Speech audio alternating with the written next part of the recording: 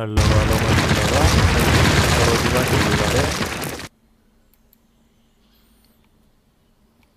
ဒီနေ့ကတော့ကျွန်တော်လူမေးများဆုံးဖြစ်တဲ့ကျွန်တော်ရဲ့ဒီကိုယ်ပိုင် blog တိဆောက်ပုံတိဆောက်တဲ့နည်းလေးเนาะ share လုပ်ပေးခြင်းနဲ့အဲ့တော့ ဒီလို blog တွေတိဆောက်လိုက်တဲ့အခါမှာဒီ blog တွေထောင်လိုက်တဲ့အခါမှာဘာတွေအကျိုးရသလဲတွေရနိုင်တယ်လဲလို့ဆိုရင်ကျွန်တော်တို့ online ငွေရှာနည်းတွေ site ထဲကနေပြီးတော့တစ်ခုအပါဝင်ဖြစ်တဲ့အတွက်ကြောင့်မလို့ကျွန်တော်တို့ဒီ blog တွေဒီ website တွေကိုအခြေခံပြီးတော့ကျွန်တော်ငွေရှာလို့ရတယ်နော်ငွေရှာလို့ရတယ်ငွေရဘယ်ကနေရတယ်လဲလို့ဆိုရင်ကျွန်တော်တို့တို့ရတို့ကနေပြီးတော့ Google အဲသူ့ရဲ့ပြည့်စုံတဲ့အချက်လက်တွေရှိပြီဆိုရင် Google Adsense နဲ့ချိတ်ဆက်ပြီးတော့မှကိုယ့်ရဲ့ ဒီ website ထဲကိုဝင်ကြည့်ရင်ဝင်ကြည့်သည့်အလျောက်ပေါ့ဗျာနော်လူဦးရေအနည်းများပေါ်ကြည့်ပြီးတော့ကိုယ့်ရဲ့ကိုယ်ပိုင် blog ကိုယ်ပိုင် website ကနေပြီးတော့နေ့စဉ်နေ့စဉ်ပတ်စံတွေရနေမှာဖြစ်တယ်နော်ဒါပေမဲ့ကျွန်တော်ရဲ့ဒီ blog မှာကကျွန်တော်ကိုယ်တိုင် Google Access လျှောက်ထားခြင်းမရှိဘူးနော် Google Adsense ရှောက်မယ်ဆိုရင်ဒီကိုယ်ပိုင် blog တစ်ခုကိုဒီဒါမြန်မာစာကိုသူက support မပေးဘူးဒါကြောင့်မလို့သူတို့သတ်မှတ်ထားတဲ့အဲအင်္ဂလိပ်စာထိုင်းစာဒါအဲတခြားသောအပြင်သက်တရုတ်စတဲ့เนาะဒီဘာသာတွေနဲ့ရေးထိုးထားတဲ့ဟာတွေဆိုရင်သူက support ပေးတယ်အဲ့ဒီဒီမှာအဲ့ဒီ website တွေမှာအဲ့ဒီ blog တွေမှာငွေရှာလို့ရတယ်ပေါ့ဗျာနော် Okay ဟုတ်ပြီအဲ့ဒီတော့ကျွန်တော်တို့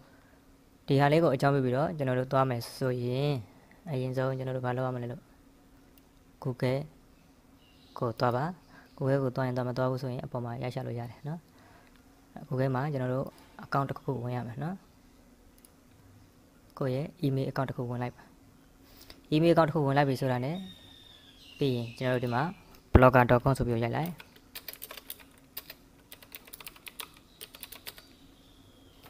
blogger.com ကိုကျွန်တော်တို့ဒီကနေပြီးဝင်ပြီးဝင်လို့ရတယ်ကျွန်တော်တို့ဒီ search bar နေပြီးတော့ရိုက်ပြီးတော့လည်းဝင်လို့ရတယ်ပေါ့နော် အဲ့တော့ဝင်လိုက်မယ်ဝင်လိုက်တဲ့အခါမှာကျွန်တော်တို့ဒီမှာ blogger.com ဆိုတာတွေ့အဲတခါလေးနှိပ်လိုက်တာ ਨੇ သူ blog စီကိုတန်းရောက်သွားမှာဖြစ်တယ်ဒါကကျွန်တော်ရဲ့ဒါဟိုအခုလက်ရှိเนาะအကောင့်ဟောင်းတနည်းအားဖြင့်ဒီဒီ blog ဒီ blog ရဲ့ setting နေပဲကျွန်တော်မှာ post ပေါင်း1113ခုရှိနေပြီเนาะတင်ထားတာလေးပေါ့โอเคအဲ့ထဲမှာကျွန်တော်တို့ပြန်လဲပြီးတော့ဒီ post တစ်ခုချင်းစီရဲ့အပေါ်မှာအဲ ကြည့်တဲ့သူ view ဟာပေါ့ဗျာနော်အခုဆိုရင်ဒီမှာအဲဒီ post ဆိုရင်ဒါ14ယောက်ကြည့်ထားတယ်ဒီမှာဆိုရင်ဒါ29ယောက်38ယောက်စသည်ဖြင့်ပေါ့နော်ဒါဆိုရင်192ယောက်နော်88ယောက်စသည်ဖြင့်သူက post တွေမှာကြည့်တဲ့သူဥယေအရေးအတွက်ကိုလည်းပဲပြပေးထားတယ်အရေးအတွက်များရင်များသလောက်ကိုယ့်ရဲ့ blog ကိုယ့်ရဲ့ website ကနေပြီးတော့ဝင်ငွေတွေရနေမှာဖြစ်တယ်ပေါ့ဝင်ငွေရဖို့ဆိုရင်မှာဘလော့ဝင်ငွေများဆိုပြီးတော့ရှိတယ်အဲ့ဒီမှာတစ်ချက်ကလစ်ပြီးတော့ကိုယ့်ရဲ့ဝင်ငွေကိုရဲ့ နေ့စဉ်နေ့စဉ်ဖြန်းဖြန်းနှုံးကိုကြည့်ရှုနိုင်တယ်ငါ့ကိုဘယ် post ကနေပြီးတော့ဝင်ငွေဘယ်လောက်ရတယ်ဆိုတာအစားသူကအသေးစိတ်ပြပေးနေမှာဖြစ်တယ်ပေါ့နော်โอเคအဲ့တော့လူတွေကဘာကိုစိတ်ဝင်စားတယ်လဲသူက blog တွေကလည်းမျိုးစုံရှိတယ်ဗျာအဲ့ဒီထဲမှာမှာကျွန်တော်ဒီမှာဒါဆိုရင်ကျွန်တော်1486 viewer ပေါ့ကြည့်ထားတယ်လူတွေကဘာကိုစိတ်ဝင်စားလဲ technology နည်းပညာပိုင်းဆိုင်ရာเนาะဟိုလေ့လာတဲ့လူတွေအနေနဲ့ကတော့ဒါနည်းပညာ website မှာ ဒီပညာတွေနဲ့ပတ်သက်တဲ့ဟာတွေကိုသူတို့စိတ်ဝင်စားတာဒါမဆန်းဘူးပေါ့ဗျာနော်တချို့အရာတွေကြတော့ကျွန်တော်တို့သတင်းတွေပေါ့အဲသတင်းတွေအဲဒီစာအုပ်တွေဒီ movie site တွေလည်းအများကြီးရှိတယ်အဲ့ဒီထဲကမှကျွန်တော်တို့ဒီသတင်းတွေဆိုရင်လည်းပဲဒါ popular ဖြစ်တဲ့သတင်းတွေကိုသူတို့တင်ပေးနေတာအဲ့ဒီတော့ကျွန်တော်တို့ဝင်ငွေတွေဒီမှာအချက်လက်တွေအစကျွန်တော်တို့ဒီမှာကိုယ့်ရဲ့ blog တွေထဲမှာဝင်ပြီးတော့ကြည့်လို့ရတယ်ဒါဆိုရင်ကျွန်တော်ဒီ viewer ကအတက် အကြဒါအနေအမြင့်နေစဉ်ရှိနေတယ်ဗျာနော်အခုဆိုရင်ဒါတွေကဒါ viewer အနေများပေါ်ကြည့်ပြီးတော့သူကပေါ်ပြထားတာဖြစ်တယ်ဒီ post ရဲ့လှုပ်ရှားမှုပြန့်နှံ့မှုအနှောကလည်းပဲသူကအမြဲတမ်းလို့လို့သူက update အနေနဲ့တက်နေမှာဖြစ်တယ်ပြောင်းလဲနေမှာဖြစ်တယ်နော်မှတ်ချက်တွေ comment တွေကိုလည်းပဲကျွန်တော်တို့ဒီမှာစီစစ်ထားတဲ့ဟာတွေကိုကစီမံလို့ရတယ်ဝင်ငွေတွေကိုဆိုလည်းပဲကျွန်တော်တို့ဝင်ငွေတွေကိုလည်းပဲစီမံလို့ရတယ် စာမျက်နှာကလည်းပဲကျွန်တော်တို့ကိုယ့်ရဲ့ကြိုက်တဲ့ design တွေအပြင်ဆင်တွေဒါတွေကဟိုကပြန်ပြီးတော့ဖန်တီးလို့ရတယ်ပေါ့နော် setting ထဲမှာဆိုလည်းပဲကျွန်တော်တို့ဒီမှာဒီ setting တွေမှာစိတ်ကြိုက်အဲလုပ်လို့ရတယ်ဒီမှာ domain တွေကလည်းပဲစိတ်ကြိုက်ဝယ်လို့ရတယ်ပေါ့ဗျာနော် okay အဲ့တော့ကျွန်တော်တို့ဒီနေရာမှာ email account တစ်ခုတည်းကိုကျွန်တော်တို့ blog 3ခုဖွင့်ထားတာရှိတယ်ဗျာနော်အခုဆိုရင်ဒါ blog 3ခုအဲ့တော့အဲ့ဒီကနေပြီးတော့တစ်ဆင့်ကျွန်တော်ဒီမှာ နောက်ထပ် blog တစ်ခုကိုသွားမယ်ဆိုရင် samc download blog ကိုကြည့်လိုက်မယ်သူ့ရဲ့အနေထားကဒီလိုပုံစံလေးပေါ့အဲ့ဒီမှာဆိုရင်ကျွန်တော် download ဆိုလို့ရမယ်သူကဒီ software တွေ link တွေရှိမယ်ချပေးထားတာရှိတယ်ဒီမှာဒါတွေဆိုရင်လည်းပဲကျွန်တော်တို့ဒီဖန်တီးပေးထားတာပေါ့နော်အဲ့ဒီထဲမှာတစ်ဆင့်ကျွန်တော်တို့ဒီမှာ အဲဘယ်ကနေ down မလဲ Google Play လားနော် app တွေ download ဆိုပြီးတော့တခြားသော website ကလားနော် download နှစ်ခုပေးထားတယ်အဲဒီနေရာမှာတစ်စင်ကျွန်တော်တို့သွားသွားပြီးတော့ download ရမယ်အဲဒီနေရာတွေကိုလူကြီးများလေကိုယ့်တဲ့ဝင်ငွေတွေရလေပတ်စံတွေဝင်လေးပဲပေါ့နော်အဲလိုနေလန်းနဲ့လည်းပဲငွေရှာလို့ရတယ်ပေါ့ Okay ပြီးရင်ကျွန်တော်တို့ဒီမှာသူ့ရဲ့ setting ထဲမှာလည်းပဲကျွန်တော်တို့တစ်ချက်ကြည့်မယ်ဆိုရင် ဝင်ငွေများဆိုရင်ကျွန်တော်တို့ဒီမှာ Google Adsense ရှောက်ရတယ်နော် Google Adsense ရှောက်တော့ဒီဒီကိုသွားမယ်ပေါ့ဗျာနော်ဒီကိုသွားပြီးတော့ကျွန်တော်တို့သူ့ရဲ့သတ်မှတ်ချက်တစ်ခုရှိတယ်သတ်မှတ်ချက်ကဘာလဲလို့ဆိုရင်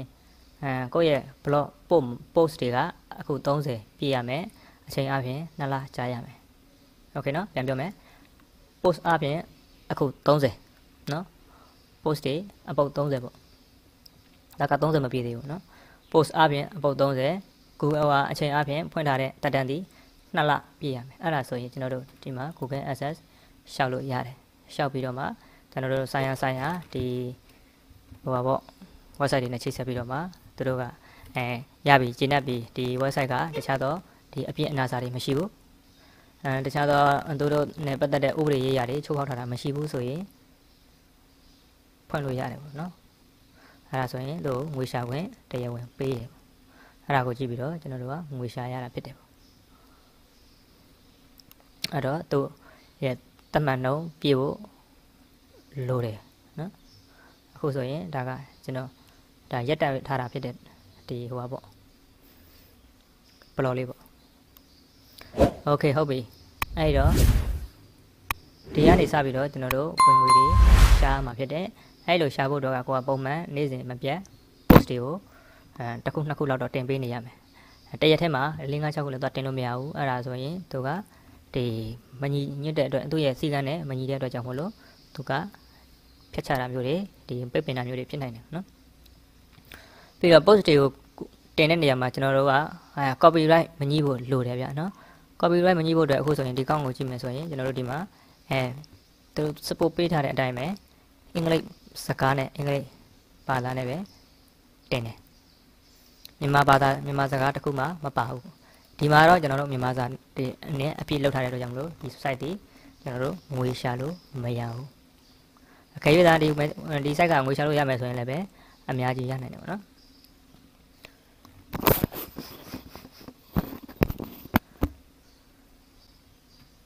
အဲဟုတ်ပြီအဲ့တော့ကျွန်တော်တို့ဒီမှာ သွားမယ်ဆိုရင်ငွေရှာဖို့အတွက်သူကအင်္ဂလိပ်စာအင်္ဂလိပ်စကားတတ်ဖို့လိုတယ်အဲတချို့ရတယ်ကြတော့ကျွန်တော်တို့ဒီမှာဆိုရင်ဒီမှာဆိုရင်ကျွန်တော်တို့သွားအင်္ဂလိပ်လိုပဲရေးပြပြီးတော့သွားသူဒီအချက်လက်တွေနဲ့တင်ပြပေးရတယ်ပေါ့ဗျာနော်โอเคအဲ့ဒီအမှာတစ်ဆင့်ကျွန်တော်တို့ဆက်ပြီးတော့ကိုယ့်ရဲ့အဲလိုချင်တဲ့ plan နိုင်ပေါ့နော်ငွေရှာတဲ့လုပ်ငန်းစဉ်ကစတင်မှာဖြစ်တယ်ပေါ့ ့ အဲအဲ့တော့ငွေရှာဖို့ငွေရှာတဲ့နည်းတွေကတော့အများကြီးရှိတဲ့ထဲကမှာအခုလို website နဲ့ငွေရှာတဲ့နည်းကအင်မတန်မှကိုကောင်းတဲ့ထဲမှာတစ်ခုပါတယ်ပေါ့တခြားသော YouTuber တွေအနေနဲ့လည်းပဲကျွန်တော်တို့ YouTube မှာဟိုရိုက်ရှာပြီးတော့ကျွန်တော်တို့ငွေရှာလို့ရတဲ့နည်းလမ်းတွေလည်းအနည်းကိုကျွန်တော်ဒုတိယတစ်ပုတ်အနေနဲ့ပြန်လဲတင်ပြပေးမှာဖြစ်ပါတယ်အားလုံးပဲကြည့်ပေးတဲ့အတွက်ကျေးဇူးတင်ပါတယ်ဒုတိယပိုင်းကိုဆက်လက်ပြီးတော့စောင့်ကြည့်ကြရအောင်နော်